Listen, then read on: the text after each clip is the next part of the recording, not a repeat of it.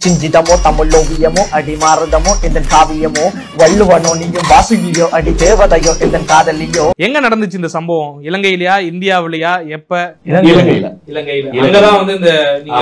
கான்சர்ட்டுக்கு முதல் நாள் இல்ல ஆக்சுவலா நான் என்ன வந்து இங்க இருந்து ஒரு லைவ் கான்சர்ட்காக கூப்பிட்டுருந்தாங்க நான் இலங்கை கொழும்பு போயிருந்தேன் இப்போ இவங்க அங்க ரேப்பர்ஸ் டீம் வந்து இவங்க இங்க யாழ்ப்பாணத்துல இருந்து கொழும்பு வந்திருந்தாங்க. ஒரே ஹோட்டல்ல பக்கத்து பக்கத்து ரூம்ல நாங்க தங்கி இருந்தோம் உங்க ரெண்டு பேருக்குமே சம்பந்தம் இல்ல. தெரியவே தெரியாது. எங்களுக்கு யாருன்னு தெரியாது. இப்ப எப்படின்னா நான் இவன் டிஜே மிக்ஸ் கேட்டிருக்கிறேன்.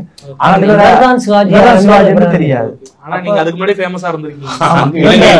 டிஜே நாங்களே கேட்டு கணக்கு கேட்டிருக்கிறோம். அப்ப எங்களுக்கு தெரியும். ஓகே இவர் தான் நடந்தா அதான் அந்த அந்த மிக்ஸோட அதை பார்த்துட்டு தான் நாங்க கதைச்சு கதைச்சோம். பிலீவ் அந்த மிக்ஸ்ல பார்த்து தான் கதைக்க தெரியாது அப்ப சும்மா ஆக்சிடென்டா கதைச்சு எடுத்து நம்ம எப்படி எங்க தமிழ் பிடிச்சிருக்கு வேற இருக்குன்னு சொல்லி தான் ஃபர்ஸ்டா உங்க தமிழ் நல்லா இருக்கு.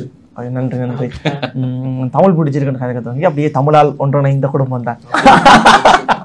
அப்படி என்னையும் சேர்த்துக்கு. அதான் இவ்வளவு பக்கம் கனெக்ட் ஆயிட்டு. ஏனென்றால் எனக்கு எப்படி விருப்பம் என்றால் இப்போ ஒரு ஒரு சொல்லி செய்யண்டால் அதை ஏன் நாங்கள் தமிழ்லயே பண்ணக்கூடாது? தமிழ்ல இவ்வளோ வேர்ட்ஸ் இருக்கு தானே இதுல இருக்கிற வேர்ட்ஸை வச்சு நாங்கள் ரேப் பண்றே இல்லை என்ற ஒரு முதல் ஒரு கேள்விக்குறி இருந்தது. அப்புறம் பார்த்தோன்று கேட்கல தான் ஓகே செந்தமிழ் ரேப் பண்ற ஒரு விஷயமும் நடந்து ஒன்று இருக்குதான் நாங்களுக்கு அதை பெருசா வெளியில கொண்டு வரையில அப்போ நினைச்சோம் ஓகே செந்தமிழ் ரேப்புக்கு பின்னாலே நாங்கள் மூவ் பண்ணி நம்ம வெளியில போகணும் அப்போ ஸ்டார்டிங்ல வந்து இது எடுபடாது அப்படின்றதான் எல்லாட்ட மைண்ட் செட் இல்லை எனக்கு கன பேர் சொல்லி இது எடுபடாது நீ இது படிக்காது படிக்காத அப்படின்னு. நான் இல்ல இது எடுபடும் நான் ட்ரை பண்றேன்னு சொல்லி தான் அது ஸ்டார்ட் பண்ணது.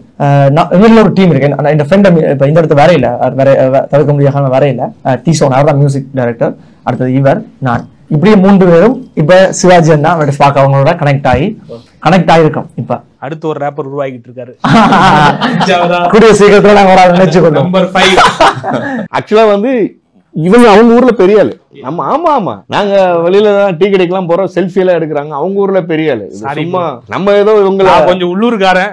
எனக்கு இந்த திருவண்ணாமலை இந்த சென்னை வரைக்கும் தான் அவ்வளவா தெரியும். இல்ல ஆனா எனக்கு என்ன ஒரு இதுனா இவங்களுக்கு நல்ல இந்த இதெல்லாம் வந்து நான் பார்க்கல. நல்ல ஒரு திறமைகள் நல்ல ஒரு கான்செப்ட் இவங்களை எப்படியாவது கடல் கடந்து கொண்டு வரணும். ஏன்னா நாம் நம்மளே வந்து அதை விரும்பி ரசிக்கிறோம் அப்படின்னா நம்ம மக்களுக்கு கொடுக்கணும் ஒரு செல்ஃபிஷா தான் கூப்பிட்டு எங்கிட்ட மெடல இருந்த அப்படின்னா இப்ப நாங்க இப்ப நாங்க செய்யற பாட்டு வந்து ஃபுல்லா இப்ப நான் இலங்கையில செய்யல எனக்கு அங்க இருக்கிற மக்களுக்குரிய ஒரு ட்ரீட்டா தான் அந்த பாட்டுல ஃபுல்லா செஞ்சிருந்தோம் ஸ்டார்டிங்ல செஞ்சுட்டு அதுக்கப்புறம் தான் நான் இங்க செய்யாமல் டார்கெட் பண்ணி கொண்டு இருந்தேன் நம்ம சுத்தி இருக்க ஆடியன்ஸை ஃபர்ஸ்ட் பிடிச்சதான் அடுத்தது போகும்ன்றது என்னுடைய மேல இருந்தது. அப்ப பார்த்தா அந்த நெல்லுக்கு தண்ணி உடைக்கல அங்க கலையும் வளரும் பண்ண மாதிரி அது ஸ்ப்ரெட் ஆயிருக்கு வெளியில. எனக்கு தெரியாது. அப்புறமா நம்ம இந்த கான்சர்ட்ஸ் இப்ப ஜோன்சன் கான்சர்ட் செஞ்சிருக்கிறேன். அது மாதிரி இப்ப விஜயன் சார் செய்ய போறோம். அஹ் அதுக்கு ஒரு Santosh Narayan sir concert perform பண்ணிருக்கோம் அப்போ கான்சர்ட் செய்யல தான் ஒருத்தரும் இப்ப வ- வர்ற ஆர்டிஸ்ட் மாதிரி இல்ல தம்பி உங்க பாட்டாங்க எல்லாம் கேட்கறாங்கன்றது தான் ஒரு சந்தோஷம். ஓகே நம்ம வெளியில போறோம் நம்ம தமிழ் வெளியில போக போகுது.